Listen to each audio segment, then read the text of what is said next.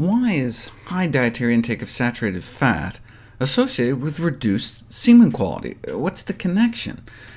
Well, a significant percentage of the saturated fat intake in the study was derived from dairy products, and residues of industrial chemicals may bioaccumulate up the food chain into cow fat, and then some of these lipophilic, fat-loving chemicals may have hormone-disrupting abilities.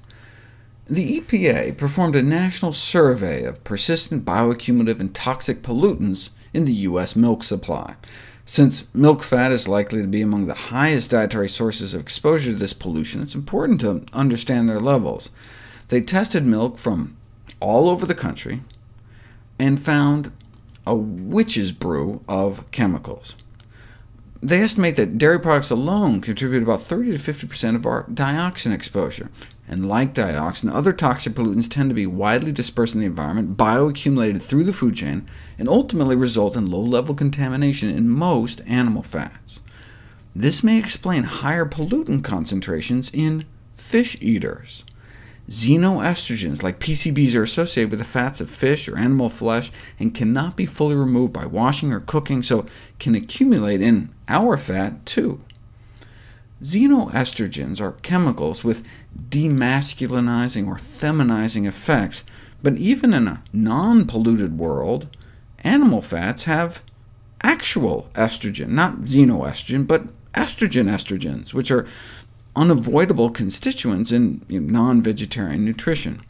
All foodstuff of animal origin contains estradiol, which is at least 10,000-fold more potent than most xenoestrogens, and dietary exposure, meat, dairy products, and eggs, to these natural sex steroids is therefore highly relevant, since the hormones in these animals are identical to our own. Uh, cow estrogen works just like human estrogen.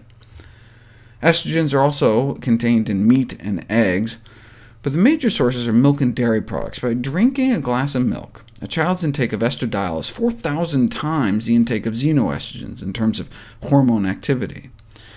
See, modern genetically improved dairy cows can lactate throughout their pregnancy.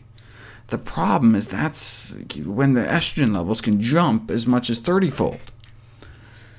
Though cheese intake has been associated with lower sperm concentration, dairy food intake has also been associated with abnormal sperm shape and movement. So this suggests that dairy intake may be implicated in direct testicular damage, and not just potential suppression of sperm production due to the estrogen.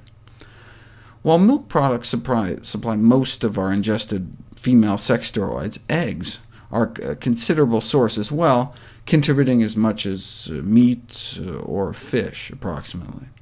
Um, I guess that could be expected, as eggs are produced directly in the hen's ovaries. Meat may also come hormone-enriched. In the U.S., anabolic sex steroids may be administered to animals for growth promotion, a practice banned in Europe 25 years ago. This study in New York found a progressively lower sperm count associated with processed meat consumption. But similar studies in Europe after the ban found the same thing. So it may not be the implanted hormones, but rather a consequence of other things in meat, such as the saturated fat, perhaps through cholesterol.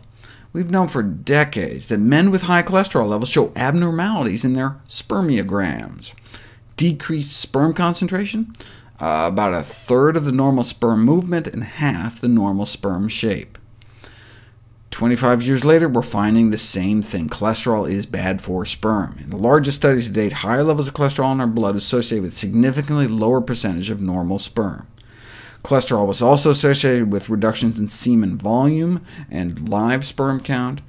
These results highlight the role of fats in the blood in male fertility and should be of concern given the rising prevalence of obesity and cholesterol problems. Though a healthier diet may be associated with healthier sperm counts, cholesterol-lowering statin drugs did not seem to help.